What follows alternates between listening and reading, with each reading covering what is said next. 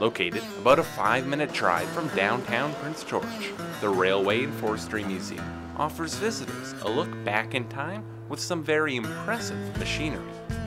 We've been around for the last 30 years and we have eight acres of park with many different artifacts, tons of trains and huge railway and forestry equipment.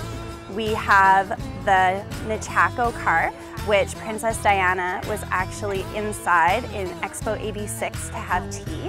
We have tons of forestry equipment, so everything from coners to um, different all-terrain vehicles. A railway and forestry museum of this caliber in Prince George makes a lot of sense, as this equipment behind me was at one time, and still sometimes is, very important to the development of this region. As we all know, we are the forestry capital for BC and probably Canada. And here in Prince George, it's been 100 years since the arrival of the train, and that was a huge step for, for Prince George and for everywhere else that finally got the train to arrive because before then, they could only go as fast as the horse they were on.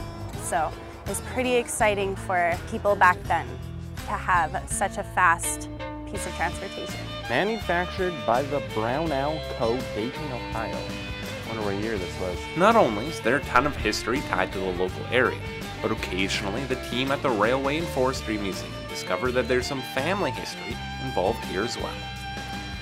You know, we still have so many people that come and say, you know, my my father, my grandfather, my great-grandfather, all of my uncles, they all worked on the railway. And so it's really special for people to come here and see a piece of history that is a lot of times a piece of personal history. For more information on the Prince George Railway and Forestry Museum, visit www.pgrfm.bc.ca. They're open year round, but summer is definitely the best time to visit. We're so excited to have everybody come around. It's really great for us to have international. We get people from uh, Germany, from England, from all sorts of places coming because they want to see all the train museums.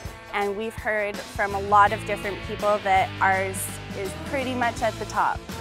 For Go Prince George, I'm Kevin Needham.